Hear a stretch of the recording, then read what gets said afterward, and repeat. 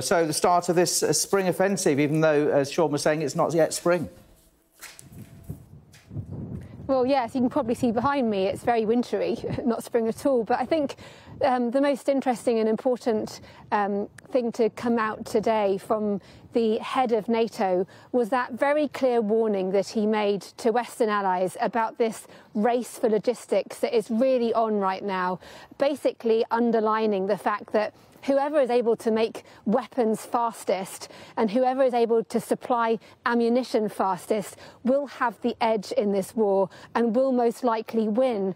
And Jens Stoltenberg was really underlining the challenge that's facing Western allies now, allies that since the end of the Cold War have massively reduced their capacity to produce weapons at speed and scale, the scale that's needed for the Ukrainian military right now given the amount of ammunition they're having to use against Russia. Russia has its own problems with its logistics and supply chain. It's under heavy sanctions, but it has a huge industrial base. The, uh, the president is trying to put his economy more and more onto a war footing. It means that um, factories are being cranked into military production from civilian production. It's the kind of thing that really needs to start happening fast across the UK, for example, and other European nations.